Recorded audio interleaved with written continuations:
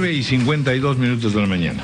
Está con nosotros el arquitecto suizo Stefan Kamersit y con el señor traductor Luis Jung. Él es un, arquitecto muy conocido, internacional, importante en arquitectura, diseño de oficinas. Ha diseñado las oficinas de Google en Europa y viene al Perú para participar en la Convención Internacional Expo Oficinas 2013. Ofrecerá charlas magistrales, etc. Cuando uno se refiere a la arquitectura suele imaginar o grandes instituciones o hogares, casas, edificios públicos. Imaginar centros de trabajo, en la tesis de que en realidad los centros de trabajo se van a distribuir prácticamente a que uno desde su casa trabaje, usando eh, toda la tecnología digital, resulta pues muy, muy atrayente, ¿no es cierto? Yo sigo muy atentamente esta cosa de la arquitectura, veo permanentemente los diseños, por ejemplo, de museos, que hay maravillas, ¿no? Grandes edificios así en casi todas las ciudades, España ha cambiado muchísimo, pero no me imaginaba nunca centros de trabajo. A ver, ¿en qué consiste una revolución arquitectónica en ese terreno? You're asking about uh, work centers, all the changes are going to be about uh, new work centers. Mm -hmm. You're talking about homes, mm -hmm. like working at home. So he's asking about that. What does that new revolution means? Uh, what those changes uh, in, in nowadays? Well, I think a big change is really that we used to speak about work and life balance. Now we speak about work and life integration. So we much better try to actually help people to balance their lives together with their work. And because we have technology, we can do that. So we can indeed bring your children to school. You can maybe work from home if the traffic is too busy. Then you can go into the office in the, in the afternoon. So technology allows us much more to help people to work better and integrate with their families and, and their private lives. El objetivo es un poco, como dice, integrar el trabajo con la familia. Es un nuevo concepto que él está manejando, ¿no? porque hay mucha desintegración en el tema laboral y en el tema de la familia. Entonces lo que él está buscando justamente es crear oficinas que permitan esa integración de manera más natural. O sea, no son instituciones inmensas, General Motors, este, más bien una concentración en torno a una gran empresa. There's no big institutions just like GM or General Motors like uh, you're not talking about those big companies, right?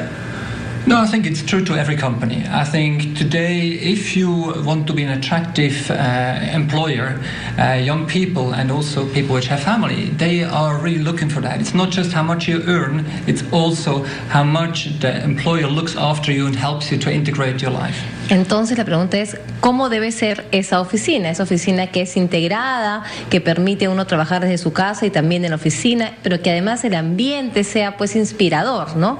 Supongo que tendría que tener muchísima luz, ¿no? Estos sitios todos lúgubres, el, el mobiliario, y no lo sé. un jefe que ordena.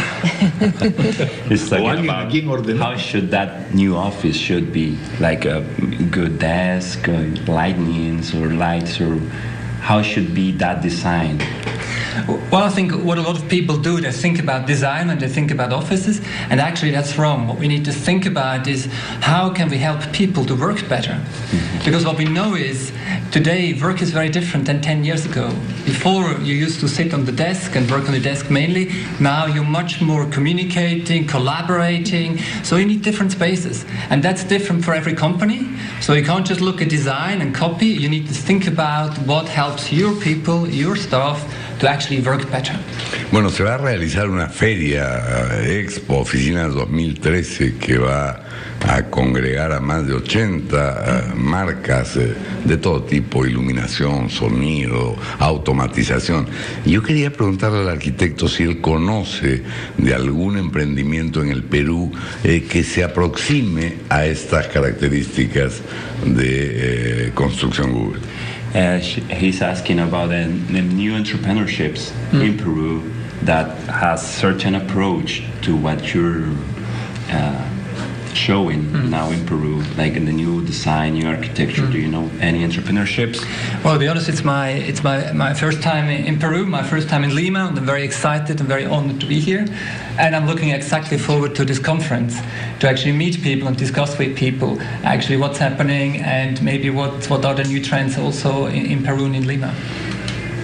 Sí, es su primera vez acá en el Perú, así que está, él está también tomando contacto recién con estos nuevos emprendedores y eventualmente en la feria donde él va a estar también estos Muy- días. Muy, muy interesante. ¿Y quién organiza la feria?